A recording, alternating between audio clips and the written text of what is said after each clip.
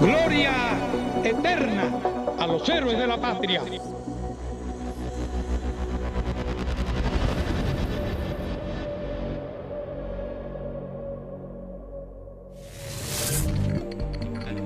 Los primeros años de la década de los 90 se inscriben en la historia dentro de los más difíciles para el país.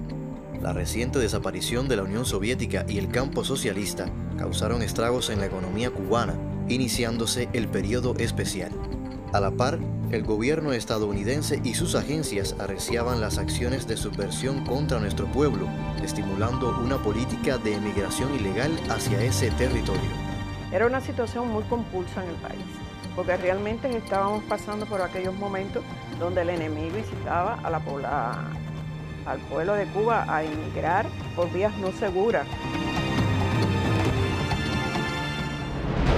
El 9 de enero de 1992, cerca de la 1 y 20 de la madrugada, un grupo encabezado por contrarrevolucionarios penetra en la base náutica del campamento de pioneros José Martí en Tarará. Un grupo de delincuentes compuesto por siete elementos que eran cinco hombres, dos mujeres y una menor de edad.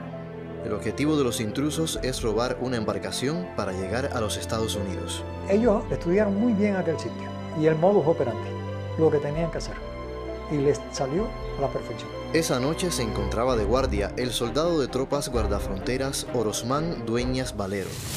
Orosmán había nacido el 9 de julio de 1971 en el barrio Guasimal del municipio Abreus en la provincia de Cienfuegos. De origen campesino, se había incorporado al servicio militar activo el 3 de enero de 1990, siendo ubicado en el destacamento Habana de tropas guardafronteras como soldado de pelotón operativo en la unidad fronteriza del Este. Durante el tiempo que prestó servicios en las tropas guardafronteras, Orosmán participó en la neutralización y captura de 23 intentos de salida ilegal del país, demostrando valentía, ecuanimidad y firmeza de principios. La fatídica madrugada de enero se encontraba de guardia junto a Orosmán el custodio Rafael Guevara Borges. Rafael nació en Santiago de Cuba el 24 de octubre de 1961. En el año 1989, Rafael se integra al Cuerpo de Vigilancia y Protección de la ciudad de pioneros José Martí, destacándose por sus méritos laborales, seriedad y responsabilidad. En la oficina que servía de local a los custodios fueron atacados a traición y desarmados Rafael y Orosmán. Lo sorprendieron a, los dos primeros, Orosmán y a, y a Rafael, pero se dieron tremenda fama. Opusieron tremenda resistencia. Los asaltantes los ataron de pies y manos para luego dirigirse al embarcadero. Avisados por otros custodios de que algo sucedía en la base, los oficiales de la policía Rolando Pérez Quintosa y Yuri Gómez Reynoso salen rápidamente hacia el lugar de los hechos. Yuri nació el 5 de julio de 1972 en Alamar, Habana del Este, Ingresó al Ministerio del Interior el 1 de agosto de 1990, desempeñándose como agente del orden público desde febrero de 1991. Rolando y Yuri encuentran a sus compañeros y comienzan a desatarlos. Ante la imposibilidad de echar a andar algún bote, los atacantes decidieron eliminar a todo aquel que pudiera identificarlos. Luis Miguel Almeida Pérez, cabecilla del grupo, aparece en la posta con el arma que le arrebatara a Orosmán. Rolando lo ve acercarse y lo conmina a entregarse haciendo un disparo de advertencia. La respuesta del asaltante fue una ráfaga de plomo. Luis Miguel salió para allá con una AKM y una AKM, ustedes saben lo que es una AKM, puesto en ráfaga. El que es militar sabe lo que es una AKM. No tenían posibilidad de defensa. Orosmán, Rafael y Yuri murieron en la escena. Rolando sobrevive a la masacre gravemente herido y tan pronto aparece ayuda, ofrece indicios sobre la identidad del asesino. Rolando nació el 22 de agosto de 1968 en el habanero municipio de Guanabacoa. Su formación militar, adquirida durante su paso por la Escuela Militar Camilo Cienfuegos de su localidad, lo llevó a integrarse al Ministerio del Interior en junio de 1989. Como agente del orden público es destinado al puesto de la Policía Nacional Revolucionaria de Tarará, Bacuranao. Las honras fúnebres de Rafael, Yuri y Orosmán se llevan a cabo en la sede del Ministerio del Interior. El pueblo acude en multitud a rendir tributo a los hermanos caídos en el cumplimiento del deber.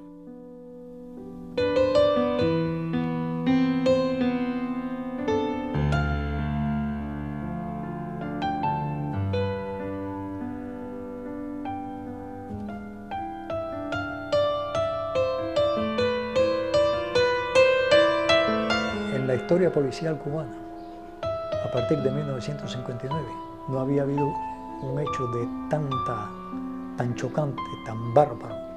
A la gente le llegó mucho las fotografías de Yuri, muerto ¿no? sobre un charco de sangre, y de Orozmán y de Rafael amarrados. Hay que tener sangre fría para hacer eso.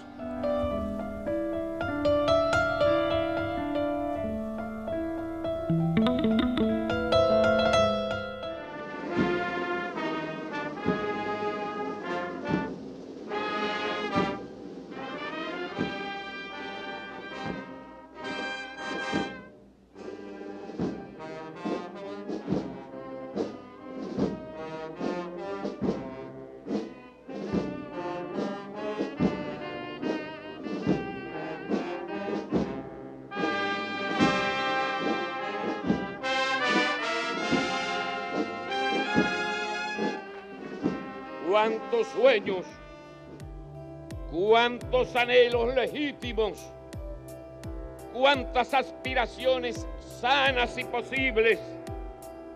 Gracias a que tenemos patria, tenemos revolución y tenemos socialismo, se troncharon al quitarles la vida a estos jóvenes combatientes que despedimos esta tarde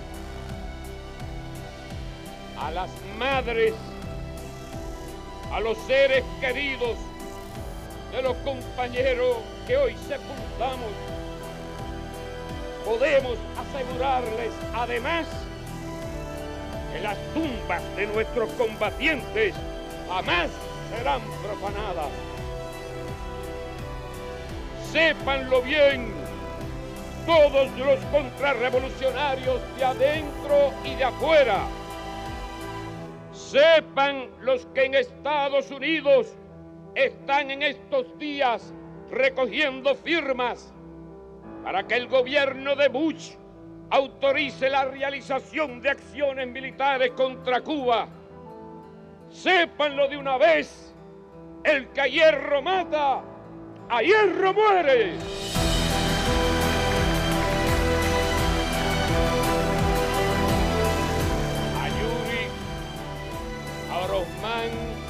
Rafael. Hasta siempre, queridos hermanos, descansen en paz. Con el ejemplo de ustedes, continuaremos nuestra obra a este pueblo de mambises que ya empieza a ensillar los caballos. Gloria eterna a los héroes y a los mártires de la patria.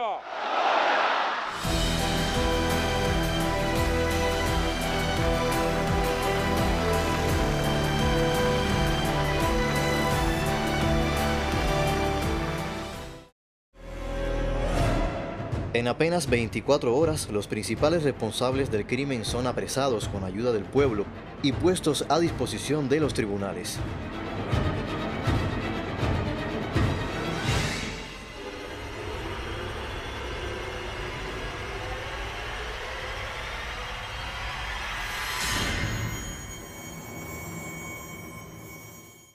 Los combatientes del Ministerio del Interior que capturaron esta madrugada al asesino Luis Miguel Almeida Pérez fueron presentados a los familiares de las víctimas.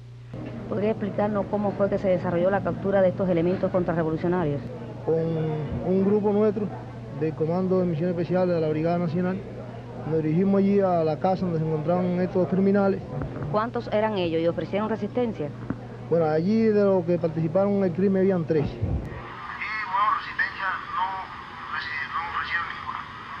nosotros, de la forma que operamos fue tan rápido, no le dimos chance inclusive de, ellos ofrecer resistencia. 25 años después, el coronel Guillermo recuerda su participación en el operativo de captura. Esta entrevista me la hacen allí precisamente donde estaban velando. Los primeros compañeros fueron asesinados allí en Trará. Porque después de la captura que hicimos allá en, en Boca de Mariel, que regresamos aquí, el ministro nos mandó a buscar a la oficina de él para que le explicáramos cómo había sido el proceso del operativo. Cuando terminó ya la entrevista con él allí, dice, bueno, vamos allá abajo en el lobby, que le voy a presentar a los familiares y decirle que ya ustedes fueron los que capturaron. Eso realmente nos sorprendió, eso no llegó. En el, en el Mariel, por el Mariel, yo tengo una casa en Mariel. Yo me entero de lo ocurrido en Trará con el compañero coronel Joseito, cuando aquello era jefe de la Brigada Especial Nacional. Como digo, de 3 y media de la mañana, de 3, de, de 3 a 3 y media de la mañana. No, los tres principales, lo que, el asesino principal, el que, es más, él declara, él declara que él es que mató a los, tres. Una de las situaciones más difíciles, porque eso sí nos había planteado Joseito de aquí en la oficina, eh, cuando llegamos al Mosquito lo, recalcó nuevamente, allí en la estación de policía antes de salir también se recalcó que había que evitar el uso de las armas, aunque íbamos bien armados, pero ¿por qué? Porque se planteaba que habían dos niños con ellos. Y realmente, bueno, había una niña que inclusive estaba durmiendo con ellos. Entonces eso es indicación que no fuera a 20 pargos, porque a no sé que fuera necesario. Las autoridades del Ministerio del Interior, además de perseguir a estas personas, apresarlos, tenían la responsabilidad de, de velar por el, por, por la seguridad de esta niña.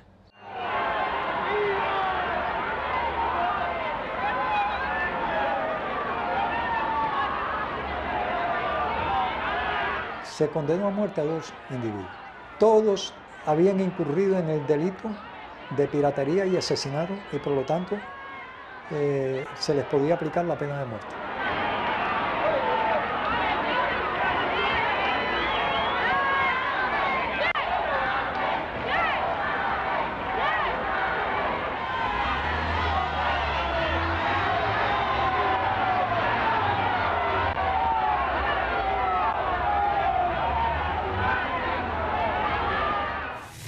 Como consecuencia de las heridas sufridas y tras una titánica batalla contra la muerte, Rolando Pérez Quintosa fallece el 16 de febrero de 1992. Un gran por ciento de la población, por no decir el 100%, lo que esperaba que Pérez Quintosa se salvara. Y esa era la esperanza que teníamos todos. Cuando falleció, desgraciadamente después nos hemos ido enterando de la situación crítica, todo lo que se hizo, buscar medicina carísima a través de terceros países, inclusive mandar aviones directamente a buscar una medicina. El esfuerzo que hizo el, la revolución dirigido directamente por nuestro comandante en jefe, como siempre lo ha hecho. Otra vez el pueblo se congregó para rendir homenaje a uno de sus hijos. ¿Cómo sufrió? Porque se dice fácil 37 días, pero hay que ver en qué condiciones vivió esos 37 días. ¿Cuánto tiene que haberse acordado del hijo, de la esposa, de la hermana, de los padres, de los familiares, de los compañeros? Asesinar es repugnante. Asesinar a hombres desarmados y amarrados es sencillamente monstruoso. Y da idea de lo que podría esperar nuestro pueblo, de lo que podrían esperar nuestros jóvenes, nuestros estudiantes, nuestras madres, nuestros combatientes de la contrarrevolución, de la reacción y del imperialismo, si lograra imponer sus designios en esta tierra, si lograran aplastar la heroica resistencia de nuestro pueblo.